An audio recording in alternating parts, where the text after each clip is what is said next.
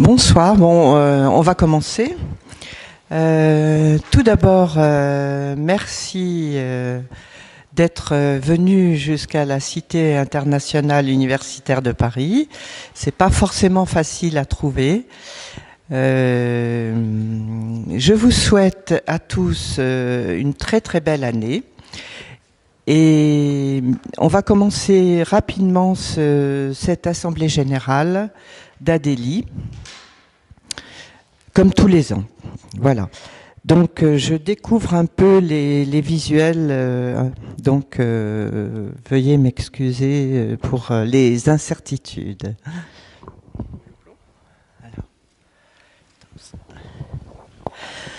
Donc nous allons commencer par le rapport moral, le rapport financier, puis les votes des rapports. Ensuite, euh, pour 2019, nous verrons les perspectives et nous élirons le comité. Donc, euh, le rapport moral euh, correspond à nos activités. Donc, cette année, nous sommes allés fêter les 40 ans d'Alélie à Cabourg. la plupart d'entre vous étaient présents. Donc, euh, voilà. Donc, au Grand Hôtel euh, de Cabourg, au casino, nous avons eu des conférences toute la journée, puis euh, déjeuner, dîner, gâteau d'anniversaire, petit déjeuner face à la plage. Souvenez-vous, c'était très sympa. Voilà, donc ça c'était le 8 mars 2018. Le 9 mars 2018, nous avons eu un atelier sur l'intelligence collective, donc euh, qui était hum, animé par euh, Thomas Maurice et c'était six ateliers participatifs. C'était vraiment très très intelligent, très intéressant, je veux dire, intelligent, voilà, c'est un lapsus. Euh, nous avons publié euh, dans une de nos lettres euh, le compte-rendu de, de cet atelier qui était vraiment passionnant. Nous avions également une exposition Alan Turing, voilà.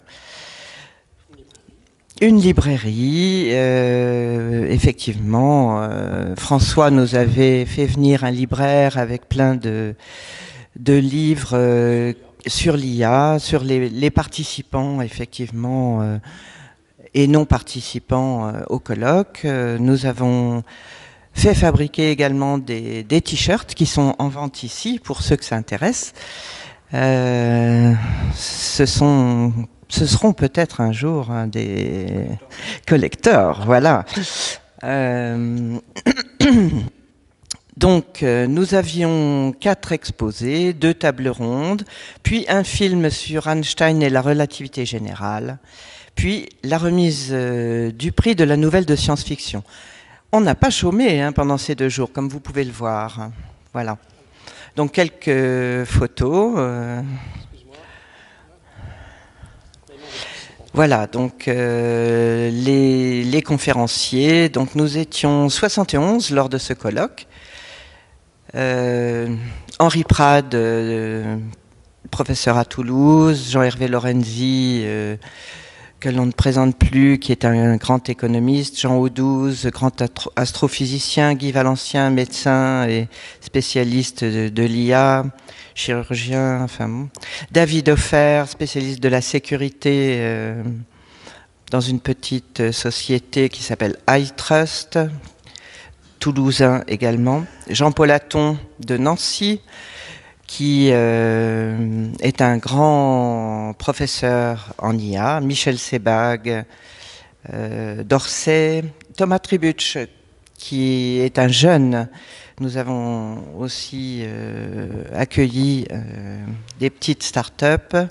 Monique Baron, qui était mon enseignante à Paris 6 quand j'ai fait mes études euh, en intelligence artificielle avec euh, Jean-Louis Laurière et Monique Dagneau.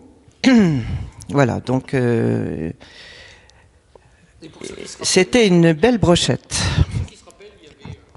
François Chalvin qui, qui faisait des dessins humoristiques en temps réel. Oui, oui.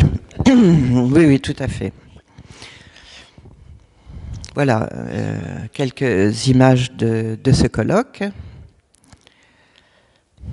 La belle plage de Cabourg. J'ai recoloré, c'était moins bleu. J'avoue un peu. oui, parce que moi, j'avais pas souvenir. Hein. C'était un, peu, un petit peu grisâtre. Hein. ah oui, tu as bien fait.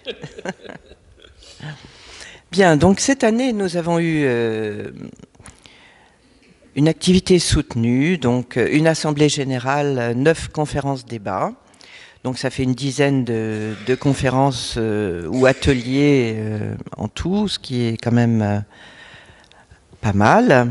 Une fréquentation moyenne de 22 personnes, avec un minimum de 14 et un maximum de 31. 75 personnes ont participé au moins une fois, donc 6 animateurs, 12 membres du comité, 32 adéliens premium et 25 externes.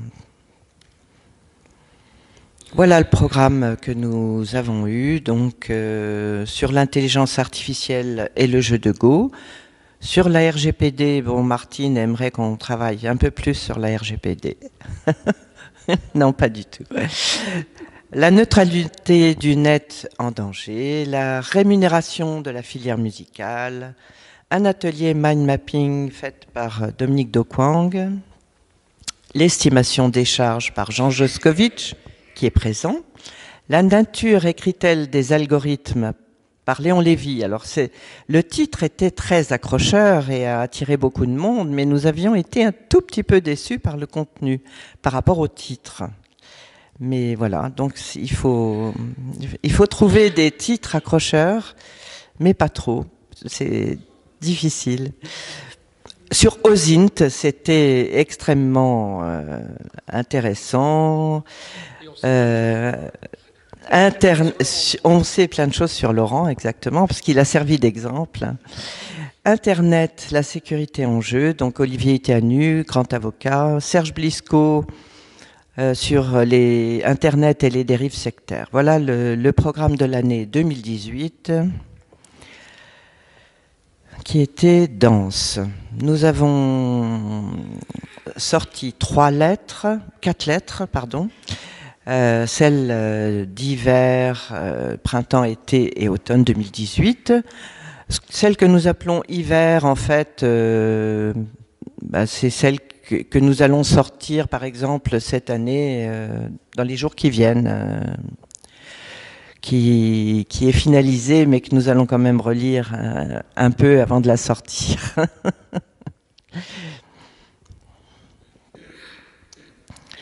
Donc, euh, sur le site euh, adeli.org, on a pu constater depuis 2015 une augmentation euh, du nombre de visites de 450 000 en 2015 à plus d'un million en 2018. Alors ça, c'est formidable. Hein.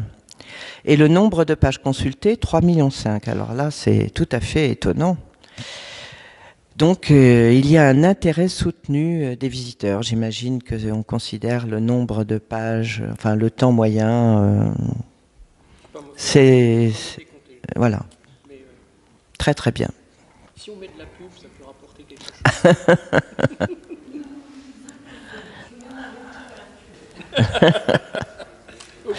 Je rappelle que Adélie est une association indépendante. Voilà. Et le nouveau site, euh, espacenumérique.org, euh, est sorti. On va pouvoir euh, le regarder tout à l'heure. D'accord. D'accord. Bon, mais globalement, euh, il est prêt. Euh, bravo à, Martine, Alain aussi qui a travaillé un peu dessus et, et peut-être Véronique. Oui. On pourra regarder. Alors, les relations avec les associations. Donc, moi, je suis en relation avec pas mal d'associations, notamment la CEMI dont nous avons le président qui est venu à Cabourg l'an dernier.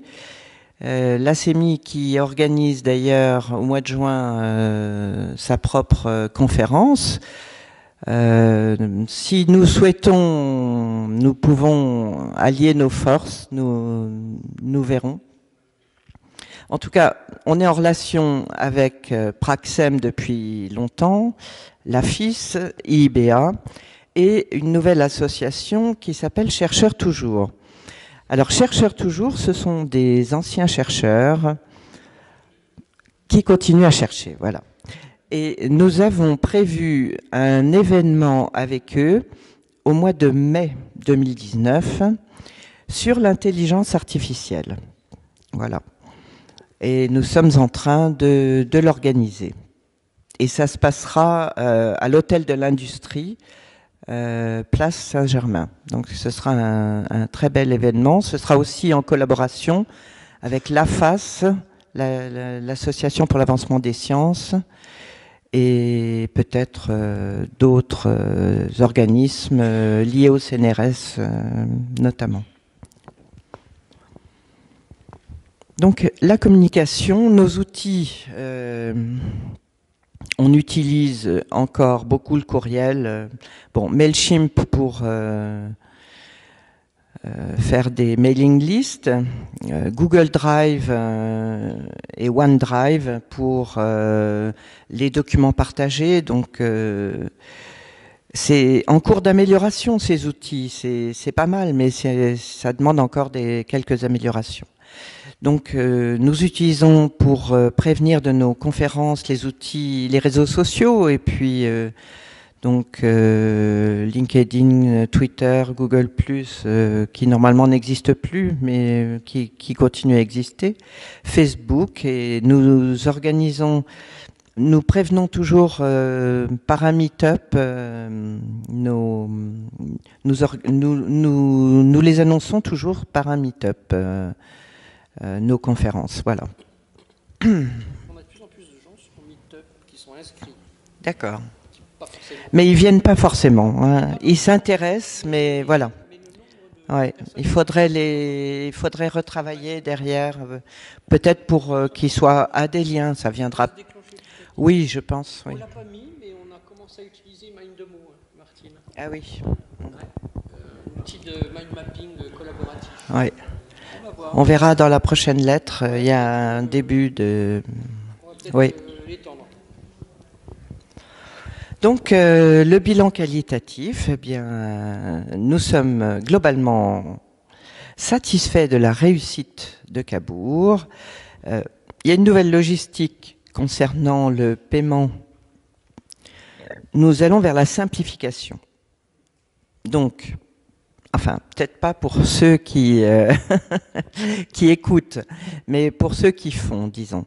Euh, Eloasso, c'est un logiciel, un logiciel qui euh, nous permet de de payer nos cotisations, qui est sécurisé. Nous utilisons aussi Nextcloud pour euh, mettre nos comptes rendus, etc. Voilà.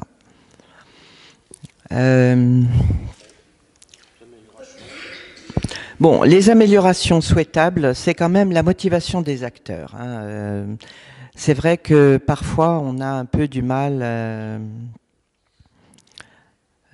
disons que voilà, euh, on aimerait un petit peu plus d'activisme de certains. Voilà. Alors le rapport financier, c'est toi Dominique qui va le présenter.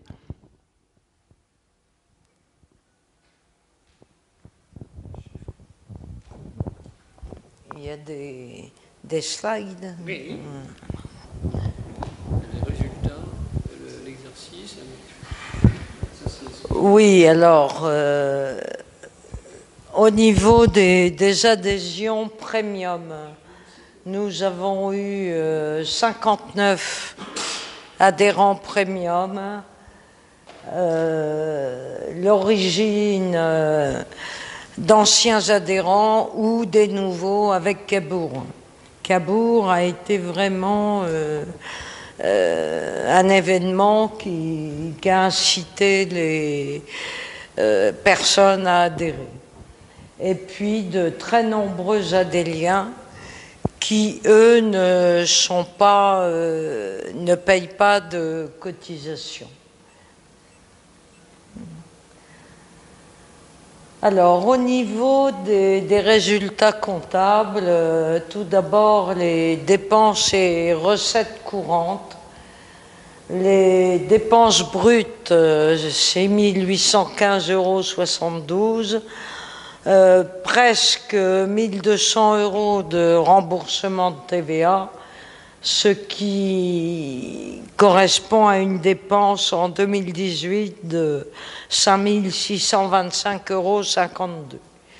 Les recettes, surtout des, cotisations, euh, 4 418,10 euros. Revenus financiers, on a un livret A qui qui donne un petit peu d'intérêt, d'où euh, une recette nette de 4 842,15 euros, avec une marge euh, un peu négative.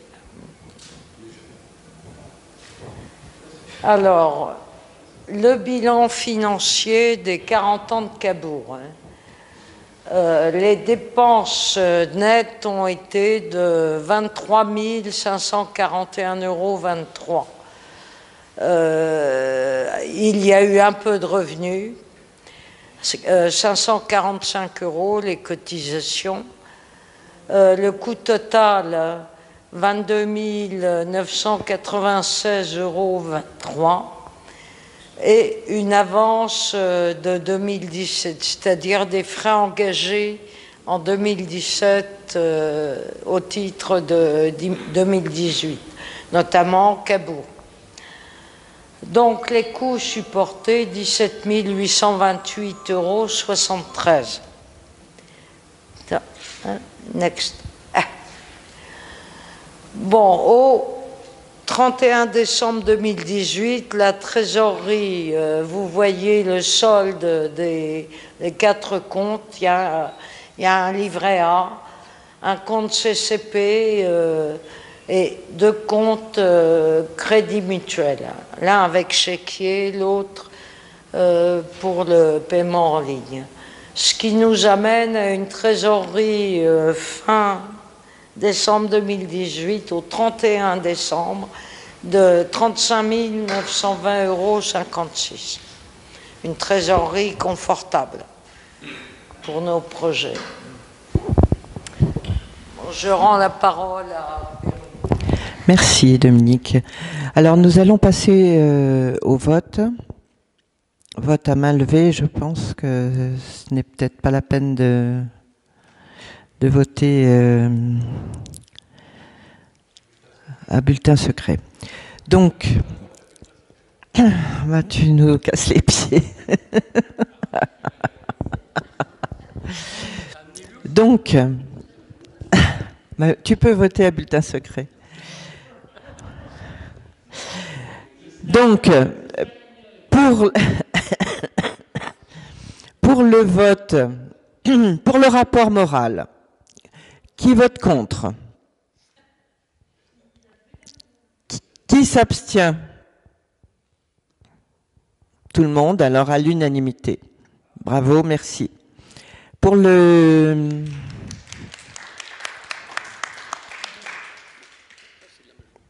Bilan financier, le rapport financier, alors, qui vote contre? Qui s'abstient? Donc, une abstention. Quelqu'un prend des notes? Voilà. Donc, euh, c'est moins ça. Bon, parfait. On a fait un grand trou dans la caisse, oui, c'est assez sûr, mais euh, c'était extrêmement sympathique et on a... Oui. Oui. Voilà.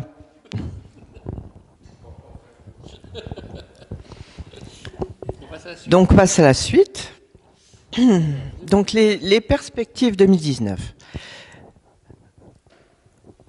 Donc le fonctionnement de l'association, euh, moi j'aimerais dire euh, deux mots.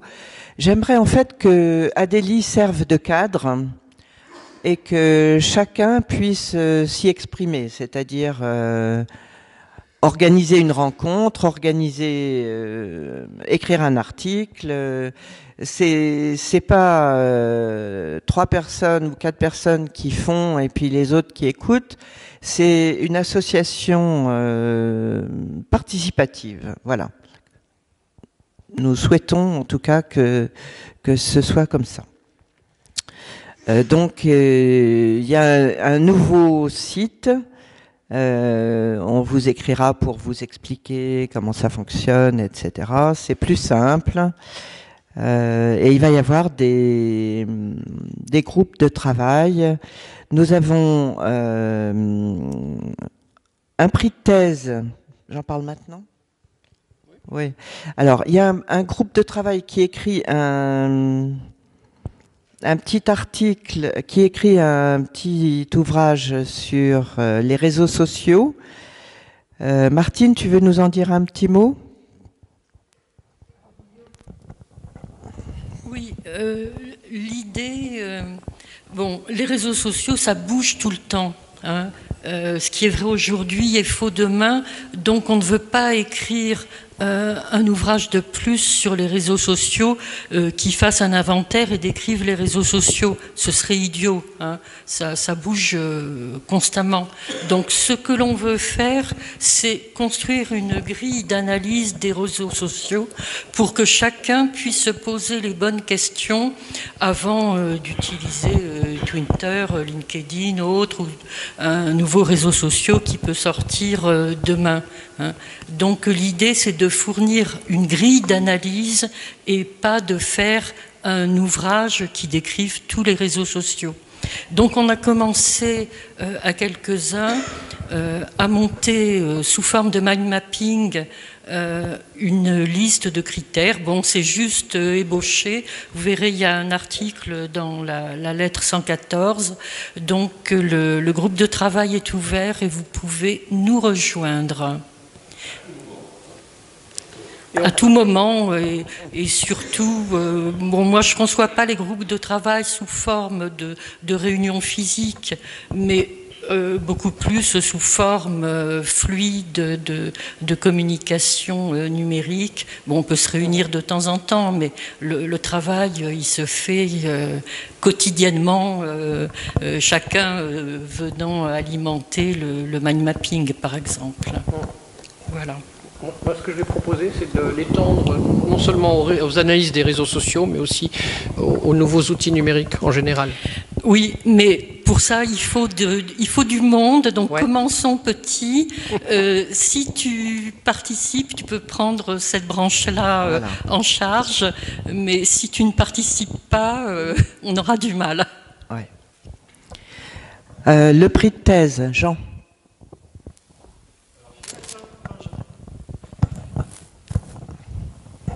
Finalement, cette année, on aura deux prix. On, reprend le prix de la nouvelle, mais on a décidé cette année qu'on euh, l'étendait à la bande dessinée. Donc il y a un certain nombre d'entre vous qui, sont, qui ont accepté d'être dans le jury.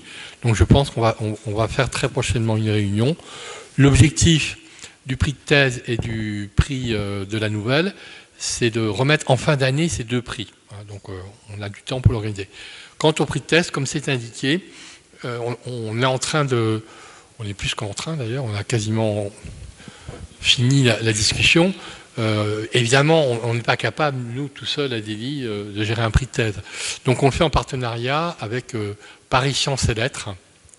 Alors il y a aussi un article dans la prochaine lettre qui donne plus de détails sur ce qui est PSL, qui est un regroupement de plusieurs universités, de Dauphine, de l'école des mines, je crois, Normal Sup, le Collège de France, etc. Voilà.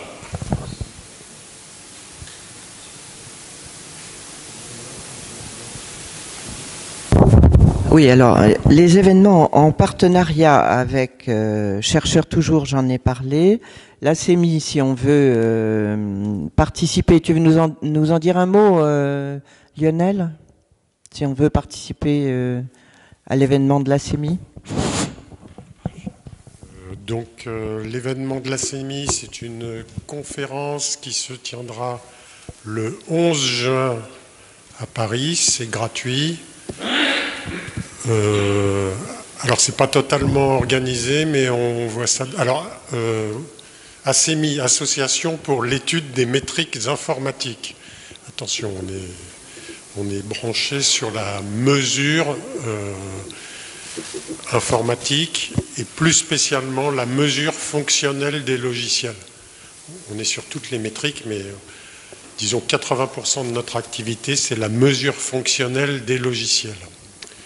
Donc le, 11 juin, avec une matinée, si on y arrive, hein, une matinée consacrée à des retours d'expérience euh, des grands comptes qui, pratiquent euh, la mesure fonctionnelle. Et l'après-midi, donc euh, quatre ateliers. En fait, euh, quatre ateliers, mais deux ateliers euh, en fait en parallèle. Donc, euh, alors on a plusieurs sujets, mais les ateliers seront sans doute sur la contractualisation par la mesure fonctionnelle, les facteurs d'influence sur la charge et les coûts des projets et la maintenance des applications, euh, les nouveaux paradigmes agilité euh, DevOps et euh, les référentiels de productivité, de productivité informatique, hein, on entend. Voilà sans doute quels seront les quatre thèmes des ateliers de l'après-midi. Merci. Bon, si certains sont intéressés, n'hésitez pas à nous en parler. On, peut leur donner un coup de main pour, euh, pour la logistique ou pour euh, des publications annoncées sur le site, je ne sais pas. C'est à étudier. Voilà. Donc, euh, oui, on va essayer de, renforcer le dynamisme de l'association. Ça, c'est pas gagné. Euh, bon, il faut continuer nos efforts, exploiter le modèle freemium. C'est sûr qu'il pourrait y avoir beaucoup plus euh, d'adhérents freemium, c'est-à-dire euh, gratuits, qui, peuvent quand même participer à nos événements et à l'écriture d'articles éventuellement également. bon, il faut que nous, fassions une analyse de, la valeur de nos actions et euh, nous allons euh, nous atteler à maintenir les activités et rencontres et nos lettres. Alors, pour le, la prochaine rencontre, euh, j'ai pas encore publié sur le site, mais je pense que je vais le mettre sur le nouveau site. Euh, nous avons Norbert Paquel qui doit venir nous parler euh, de numérique et médecine. Et donc, euh, je pense que ce sera tout à fait passionnant. C'est le 4 février. Et le 11 mars, Dominique Vauquier sur Praxem et les services.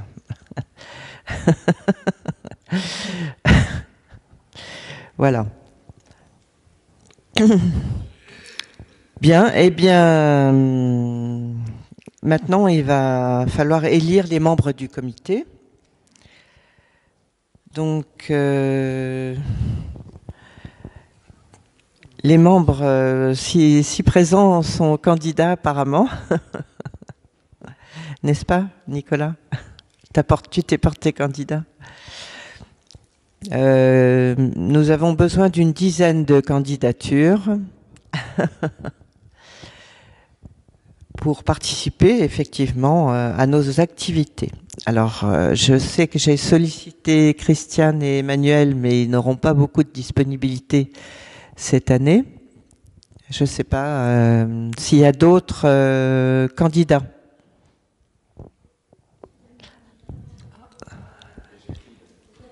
Jacqueline, ouais.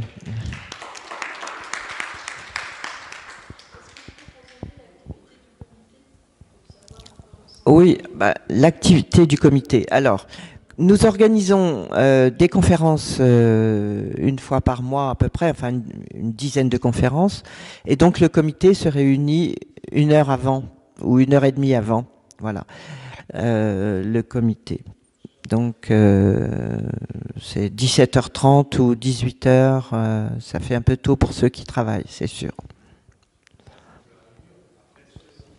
Mais voilà, après, bon, euh, il y a des choses, on peut travailler à distance, hein, notamment sur la communication, sur. on a besoin de communicants, de communicants, hein, ça c'est certain. Euh, il va falloir aussi quelqu'un euh, qui participe euh, au groupe de travail avec PSL. Donc, je pense que là, il y aura un gros travail. il peut y avoir plusieurs candidats, mais il n'y aura qu'une personne qui ira pour le jury. Oui, le jury de thèse. Oui. Voilà, donc euh, si on revient aux candidats, est-ce que les candidats sortants se représentent déjà Donc Alain, tu te représentes. Dominique, tu te représentes. Laurent, tu te représentes. Véronique, je me représente. Dominique, tu te représentes. Pierre, tu te représentes. Georges, il n'est pas là? Ah, d'accord. Il se représente? Oui, d'office. Jean, tu te représentes. Mailleul, tu te représentes? D'accord. Martine, tu te représentes? Nicolas, tu te présentes? Oui. Voilà, alors euh, on a oublié Clément et François. François, tu te représentes? Non, tu peux pas. Et Clément, eh ben il est il est pas là. Donc je ne sais pas s'il se représente, il m'a pas dit. On le cooptera si voilà. Donc François ne se présente pas. Euh, donc en fait, euh, il y a Jacqueline en plus. Voilà, donc ça fait 12.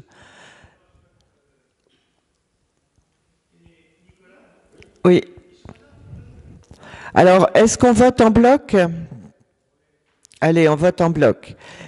Donc, qui vote contre Alors, ah, il y a encore une candidate, une treizième candidate. Françoise, parfait.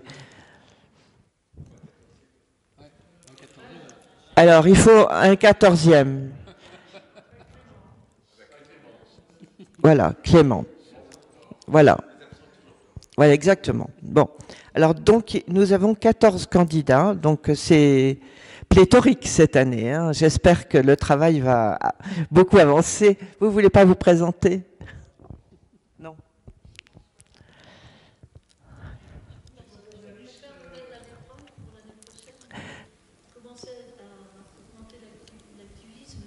Oui. D'accord. Donc, tu veux te présenter ou pas? Non, pas cette année. D'accord. Mais tu peux venir assister une fois ou deux pour voir à quoi ça ressemble. Et puis, voilà. OK. Donc, euh, qui vote contre les 14 candidats Alors, par rapport à l'an dernier, euh, ce sont les mêmes, mais il y a Jacqueline. François ne se représente pas. Clément, on a dit qu'on le mettait d'office. Voilà. Euh, Nicolas Trèves, Jacqueline et Françoise, en plus, ça fait 14. Donc, qui vote contre? Qui s'abstient? Élu à l'unanimité. Merci.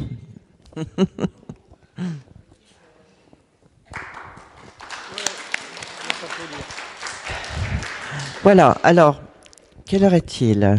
Nous avons encore euh, cinq minutes pour des questions. Euh, Milly Tang est arrivée, elle nous fera, présentera euh, Parole de start-upper dans, dans un instant. Euh, je vais prendre quelques questions, peut-être vous avez des questions?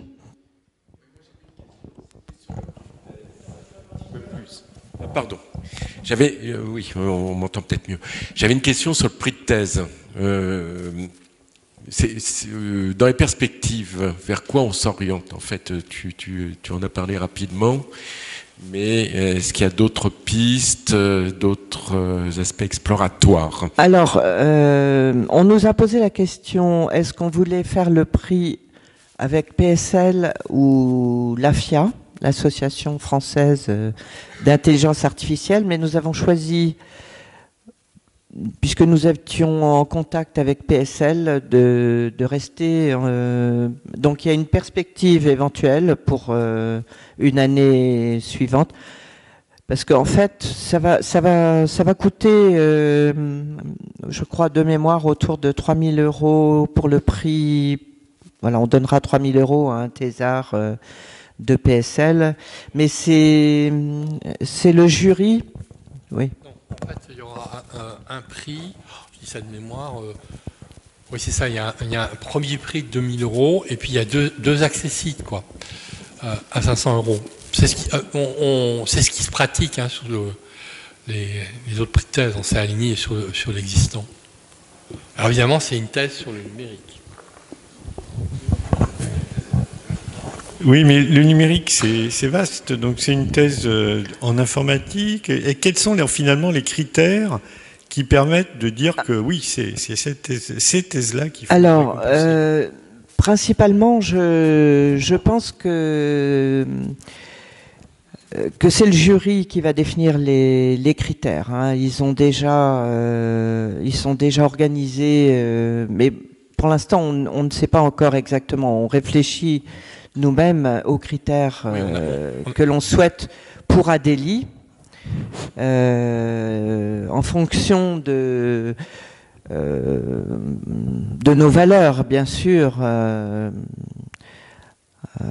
il faut que ça ait un lien. on n'a pas, encore avancé là-dessus. On n'a pas encore avancé là-dessus, mais bon, on avait un peu réfléchi qu'il fallait que ce soit en, en, corrélation avec les valeurs d'Adélie.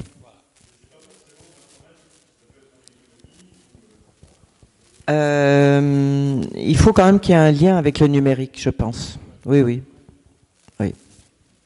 Et l'intelligence artificielle, vraisemblablement. Bah, le, prix, de la, nouvelle, on n'a pas encore réuni le groupe, alors on est un peu en retard. Mais comme je disais tout à l'heure, l'idée c'est de d'étendre jusqu'à la, BD. Donc euh, on va faire un peu comme on avait fait à Cabourg, c'est-à-dire on va constituer un jury entre nous. Alors si on a le temps de s'en occuper, ce serait intéressant aussi d'avoir un partenaire extérieur, mais pour l'instant, euh, je ne peux rien vous promettre. Je, verrai si je trouve une idée. Sinon, on fera entre nous. Mais l'année dernière, il faut savoir qu'on avait eu combien, euh, Dominique? Une cinquantaine. Une cinquantaine de, contributions quand même. Hein. Donc, euh, voilà. Et le prix, on n'a même pas arrêté. si c'est un chèque de combien, on n'a pas décidé encore. Voilà, ça peut être un chèque de 1000 euros, par exemple. non, c'est un peu bizarre.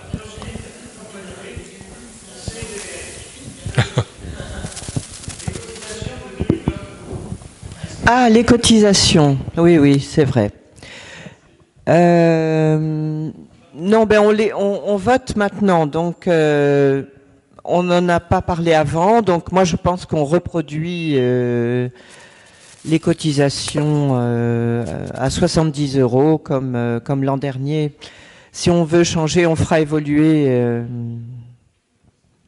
l'année prochaine ou dans une assemblée générale extraordinaire. Mais pour l'instant, à moins que vous ayez que quelqu'un ait une, une stratégie précise sur les cotisations, moi je pense qu'on peut reproduire, reconduire 70 euros.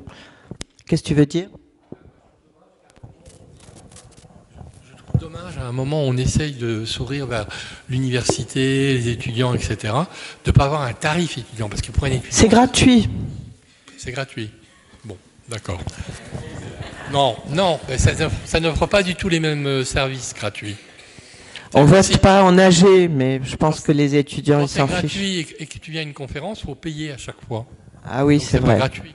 Oui, c'est vrai, c'est vrai. Très bien, on le fera l'année prochaine. On pourrait très bien avoir une cotisation étudiant à 15 Ça, ce sera la stratégie, effectivement. Euh, Et puis pour les vieux à aussi. définir l'année prochaine. Et un tarif pour les vieux. Mais, mais non, mais non. Il y, a des, il y a des vieux très pauvres. Bon, c'est vrai qu'il y a des associations où on paye euh, 20 euros. euh, bon, pourquoi pas, mais euh, à ce moment-là, ils font payer les, tout, tout le reste. Donc, euh, bon, nous, on fonctionne comme ça. Bon, on, on en discutera éventuellement en cours d'année si, si certains sont motivés pour faire changer le tarif.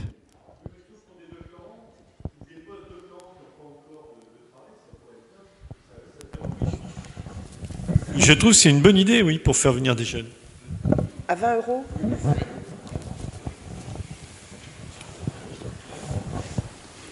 Ça peut, ça peut- ah oui, c'est- de l'a priori dans ce cas-là, c'est pas a posteriori. Bah, c'est un petit peu, euh, un petit, ça, ça demande un petit peu réflexion, je pense quand même.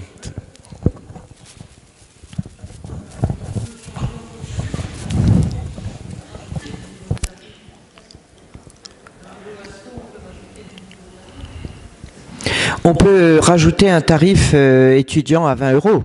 Oui, effectivement.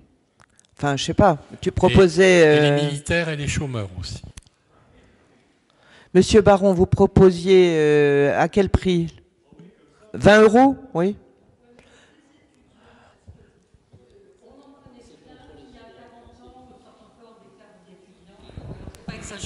Pas Oui, mais voilà. Ah oui, les jeunes Ouais. étudiants. Non, moi je dis les vrais étudiants parce que j'en ai vu plein à 50 ans passés avec des cartes d'étudiants. Euh, Oui. Je trouve qu'il y a quelquefois de l'abus. D'accord. Il faut Bon. être euh, honnête. Bon, on peut dire jusqu'à 25 ans. bon, alors. euh, moi, moi, je ne suis pas tout à fait d'accord. Oui. Parce que je pense que les jeunes aujourd'hui ne veulent pas s'engager. Et donc prendre une cotisation euh, dans une association, c'est s'engager quel que soit le prix.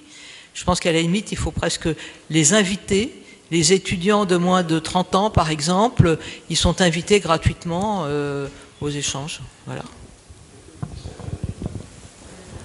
Tu penses qu'il faut pas faire ce tarif étudiant? Ouais.